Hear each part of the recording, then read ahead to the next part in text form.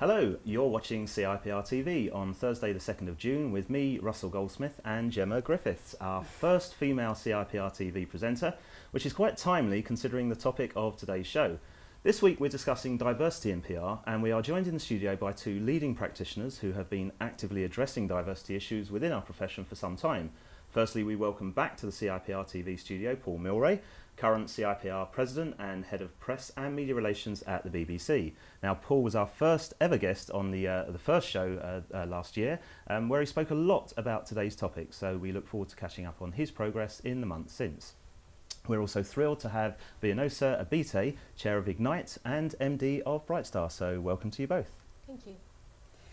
So according to the CIPR's website, they recognise diversity as an all-encompassing term that acknowledges and respects characteristics such as gender, ethnicity, sexuality, socio-economic background, disability, religion, faith and age. Now it's a year on since the CIPR Diversity Working Group was founded, of which Paul uh, is a member, The group was set up to concentrate primarily on addressing the major diversity challenges facing the PR profession, particularly focusing on the underrepresentation of people from black, Asian and minority ethnic backgrounds at all levels, the gender glass ceiling and discrimination facing disabled people. We therefore thought it quite timely to discuss this topic. So, if you have a question for either of our guests, you can submit it using the form below the video you are watching us on, unless you're watching us on the CIPR Facebook page, in which case just hit the submit question link. You can also tweet any questions or comments using the hashtag HashCIPRTV, and we'll do our best to get through as many as we can in the time available. Now, before we focus on today's topic, last night Paul hosted the uh, CI the annual CIPR Excellence Awards. So, how was the evening, Paul? It was a it was a fantastic event. I think you were there, were you? We were there. Um, but I think you didn't win. We didn't win, but uh, we'll, we'll move on from that. We'll move but, on, uh, yeah. Um, lots of uh, good news for the regions, though. Yeah. Obviously, Tangerine Yeah. winning, winning the uh, the There was some fantastic PR shown last night, and small consultancies came out really strongly. Yeah. Um, there was a really good evening which showed how strong PR can be. Excellent, good stuff. Well, let's uh, let's move on. I think Gemma's got the first question lined up already. I do indeed, so let's get started. Right in with it. Do you think PR has a particular problem with diversity? Maybe Paul, you can answer first. I don't think it has a particular problem in the sense that other industries, it's different from other industries, but I do think it has a problem. And all of our research has shown that.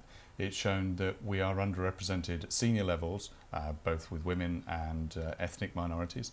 Uh, we don't represent ethnic minorities in the way the country is made up, and we are certainly very bad in terms of disability. So we need to address those issues.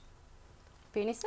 Um, I do agree that there is a problem uh, with diversity within the PR profession itself. Um, I think, though, beyond the uh, tick box in terms of the different characteristics, I think there's also an issue in terms of the actual culture of the industry itself. Um, in order for us to actually, you know, have initiatives that promote diversity, I think we first need to look at the industry and the actual culture within the industry. And the research that was conducted by Dr. Lee Edwards actually highlighted some of the issues around uh, how the industry and the culture of the industry actually perpetuates a lack of diversity within it. Okay. Well, we've, we've got a lot to get through. I mean, a lot of where it starts, obviously, is on the recruitment side. So one of the questions here is about how we ensure our recruitment draws from the widest possible pool of talent and, and what success looks like. How, how do you feel about that?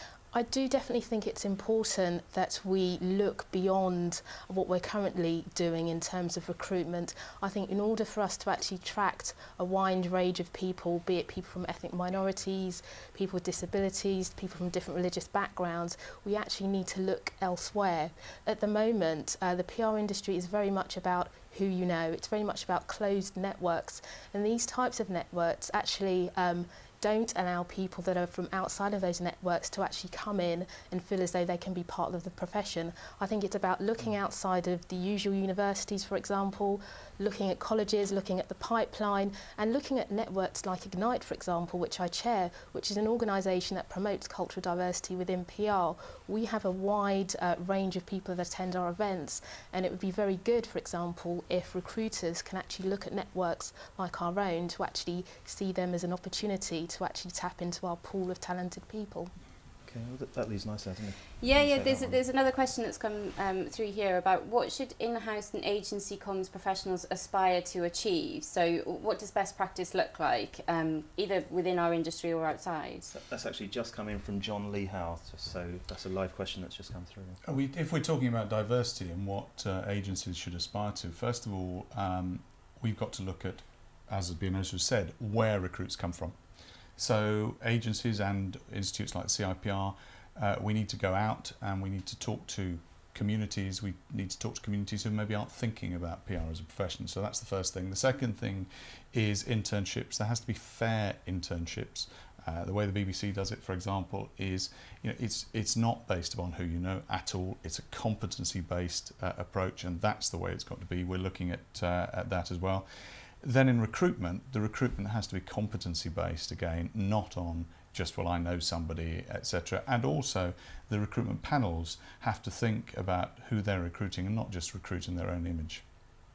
Okay, well, I mean, this is uh, sort of feels. They've got a question here. This is Gamiel Yafa, uh, Yafael. Um, Yes, one there. as, as you've kind of just uh, touched upon upon this question, saying is PR recruiting in, in, in its own image, and um, how can we truly and accurately uh, address the, uh, the needs of people who have a, a disability or, or be from an ethnic minority group or underrepresented group? How, how do we address those those issues specifically? Um, I think in terms of the recruitment pipeline and how we actually go about recruiting people, I think it comes back to what I've, I've already said, and that's looking in different places in terms of where we actually go to recruit people from. But it's also about fostering uh, a culture that actually people look at and see actually this industry is for me. There's a, a wide variety of people from different backgrounds, whether that's from different socio-economic backgrounds, different ethnic backgrounds, but people actually be able to see that there are already people working within the industry that actually makes it very welcoming from people from different backgrounds. okay, well, does the? I mean, you'll potentially get the natural response from some people say, "Is this all about positive discrimination?" So, Paul Dowd. No, not at all. I mean, th- there are both ethical considerations about diversity, but there are common sense issues about diversity. You know, public relations is about maintaining dialogue, uh, creating trust between publics and the organisation that you work for, whether that's in the public sector or the private sector. Uh, if the PR industry doesn't represent the society in which it's based, it simply cannot create those dialogues. It doesn't know how to create dialogues. I mean, I've had, I've seen examples of where organisations I mean, a, a, an example in transport of an organisation that held a consultation drive uh, where it said it was trying to reach out to, to, to Muslim women and it held the drive in a former brewery uh, staffed by all men, you know, and you're just thinking, you, you, you're just not, it's, Yeah. it's just not going to work. So, I mean, that's why we set up the diversity working group because we felt it was important to understand exactly what were the barriers to this. So, you know, it, we've got to do it for the for the sake of the industry. We've got to do it because it's the right thing to do. And and what are those barriers that are stopping us doing? That's what we've been Okay, looking well, that, at. that's quite timely because last year you sat in the Yeah. studio, said this is your year in Yeah. presidency. So, Yeah. know, that's the, the next question. Yes, yeah. Um, so, uh, how are you? How, how's the CIPR getting on? Uh, we mentioned the diversity working group, for Yeah. instance. So, what's the progress with that? But also, what do you think the, the profession has has achieved uh, since you sat on that sofa um, before Christmas? Yeah, I mean, I don't, I don't think that we've made you know massive strides yet. But what the diversity working group has been doing over the last year, and it's just actually coming to a conclusion, is been having dialogue, conversations with different groups. Because what we felt was really important was to understand what were the issues that needed fixing, and we've identified five key areas of work that we're going to be driving forward over the next year to 18 months. Uh, uh, the first of those is just this issue that's already been touched on of raising awareness getting out into communities, talking to people who maybe don't think about PR as a profession. And we'll be working with uh, the public sector, we'll be working with agencies to get people to go into schools, for example, to go into areas and communities to talk to them about what is the PR profession. Uh, the second is internships. Uh, we want a best practice uh, for internships. We'll be working again with the private sector and with the public sector to, to set that up. The third is recruitment uh, that we believe that we have to we have to make sure that recruitment is competency based. So again, we're going to be providing guidance for employers about how you go about recruiting in a fair way. The third is actually uh, really interesting. It's uh, the, the next one is really interesting. It's about uh, re-employment. Uh, this is an issue that really affects uh, particularly women, but not just women. It's if you've been out of work, or out of work for a period of time, how do you get back into the industry? Uh, and so what we want to do is we want to set up a whole series of mentoring and we want to discuss this with agencies, with in-house uh, organisations to say, well, you know, why are people getting discriminated against when they come back to work? And we believe that leads into the fifth thing where we still don't quite understand what the issue is, but we know it's there, and that's the glass ceiling. Seventy percent of the people in the PR Power Book, for example, are white males, yeah. and you know that's not right. That just simply isn't well, right. We actually had some some comments that, that came to that. Um, and, and we'll come on to those in a second. But before we take the next question, um, we're already over halfway through, over 10 minutes uh, through the show. Um, so please do keep sending in your questions um, and your tweets. Um, and as if we can get through them in the uh, next half of the show, we will we'll do that straight away. So, um, in fact, that's the question relating to that glass ceiling there. I don't know if you want to take that one, Jen. Yes, uh, sure. So, um, is this, uh, so you, you touched upon the fact that PR Week's Power Book was uh, 70% male, um, despite the fact that the CIPR says two thirds of the profession are female. So is this an illustration of the, the diversity challenge the profession is facing at the moment? And, and what, what should we, you, you touched upon sort of the, the initiative about women in PR, and when can we expect to, to see that moving, for instance, in, in the next 12 months, or are we, we talking more? It's, it's, an issue across all management, really, yeah. isn't it? Yeah. yeah. It is. I mean, uh, the, the point about uh, diversity is this isn't something you, you fix overnight. This means long-term, meaningful engagement with the whole sector. It means doing stuff that, that will, will, will actually lead to change, not doing, as Bieneosa said, a tick box exercise which says, oh, well, we've done that, it's finished, thank you very much, now we're going on to something else. We're going to be doing this not just by you know getting in touch and working with agencies. We're going to root it in the CIPR itself. So both the institution of the CIPR, we want to make it best practice in terms of how we recruit, how we manage, you know, how we you know work with people across internships. But we also are going to have to work long and hard right the way across the industry to change a mindset. It doesn't. It, I mean, I think you'd agree. It does not change overnight.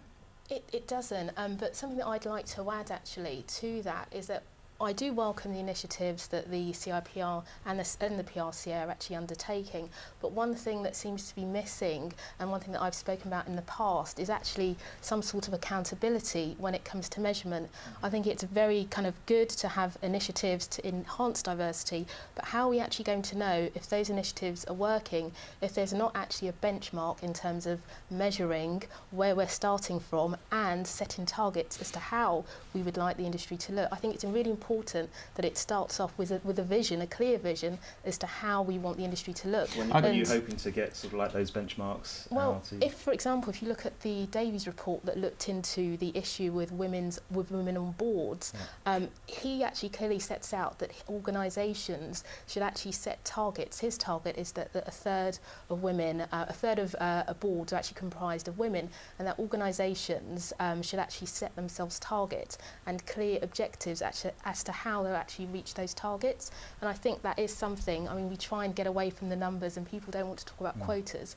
This isn't a, you know, a discussion about quotas per se, but I do think it's important that we do actually set ourselves targets. Otherwise, we'll be in danger of the situation that we were in in 2005, when unfortunately the CIPR undertook an initiative, um, which was great. I was part of that steering group, but unfortunately it wasn't long lasting. It wasn't something that was embedded within the industry. There were no mm. targets set, and it was basically forgotten.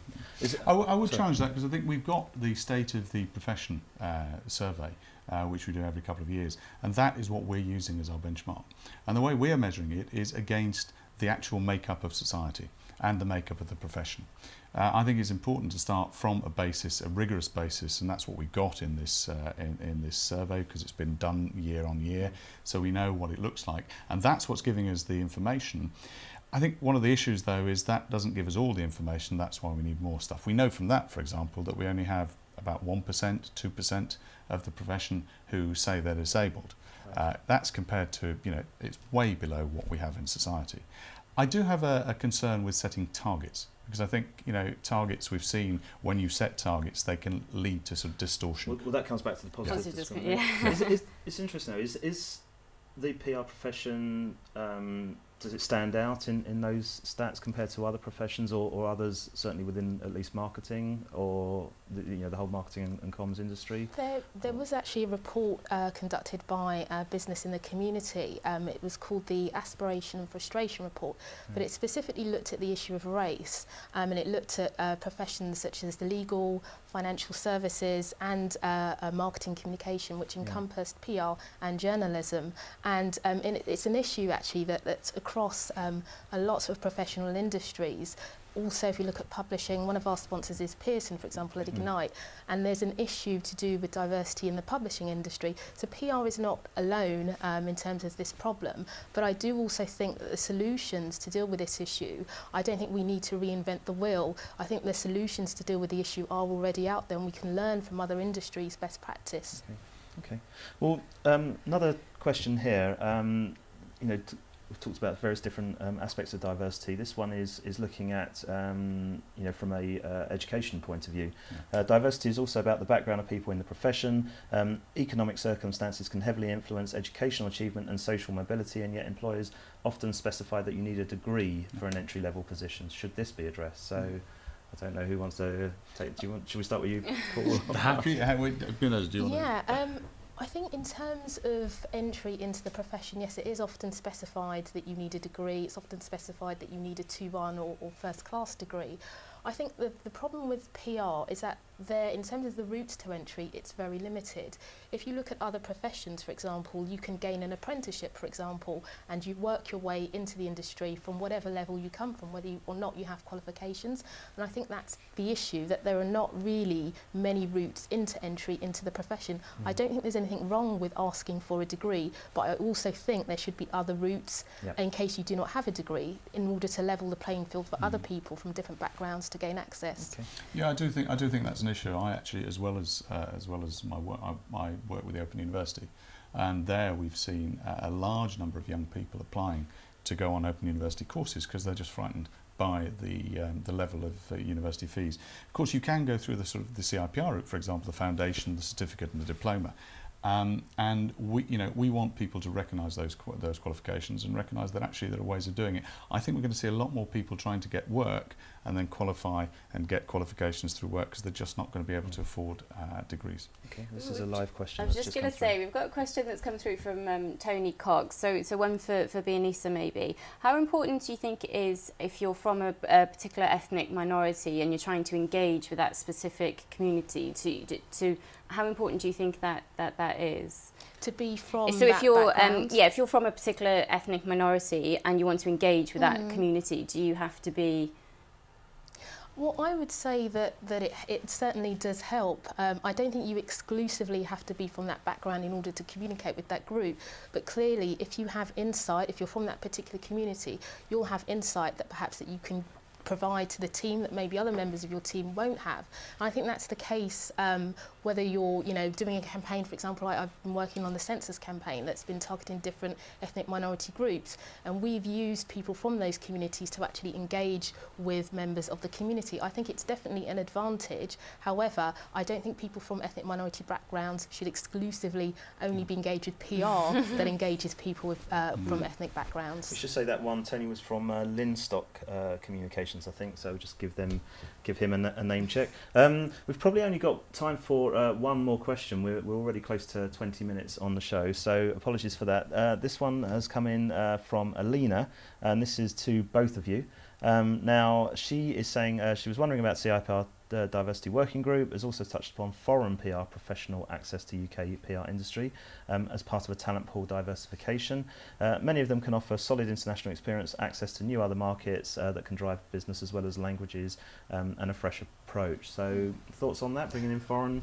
Yeah, uh, I, I, experience? I totally agree with Elena's comments there. It's interesting because the research that was conducted by Lee Edwards, we actually found that uh, workers that had experience from different markets were actually not seen as being valuable to organisations and often couldn't get into the PR industry even though they had bags of experience from a different market. And if we look at obviously uh, the world in which we operate, we operate in a global uh, market where many of our clients operate in multi-markets and it makes perfect business sense to then tap into people who have experiences of different markets. Again, I think it comes back to um, the idea of perhaps bias and uh, unconscious bias and, and not seeing beyond kind of the stereotype perhaps that you have Yeah. of people. I think people from different markets certainly have a lot to offer the UK PR industry. Yeah, and the CIPR, for example, we work with the Global Alliance to make sure that uh, expertise and experience from abroad is recognised, that qualifications can be recognised.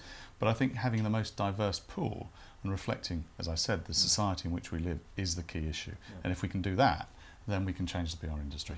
Well, I suppose shows like this obviously are going to help raise the issue in the industry. We've probably only got time for one final question, so let's set. Which I'm going to direct it at Paul. Loop right back to to um, your when you were talking about diversity when you first came on the shows. You were very passionate about it being a focus for the CIPR. Yeah. Are you remaining personally committed to that, and do you aim to, to drive the, the, the CIPR forward when it comes to diversity issues? Completely. I mean, you know, if you if you look back, I mean, back in 2005, I set up a diversity internship in Transport for London. Uh, that's been running, and in fact, somebody came up from that the other day. Uh, I I hadn't seen them for for ages, and they carried on in the profession. They've done very well. Um, you know, we've been working with people like Taylor Bennett, who've got their uh, their internship program as well, and I just think it's something we we need to do. As I said, it makes ethical sense, but it makes common sense, and I, I intend to remain committed to it.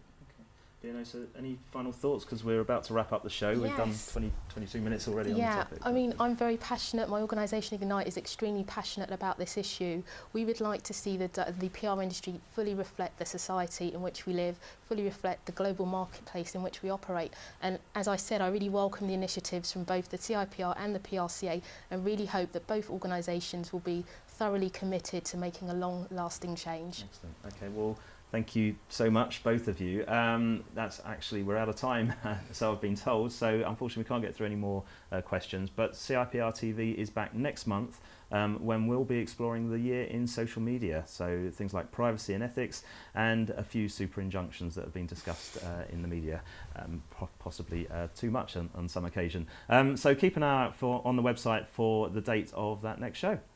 So until then, we'd like to thank our guests, Paul and Bieneosa, uh, the team here at Markettiers 4DC, and of course, all of you for watching. Goodbye. Thank you. Goodbye.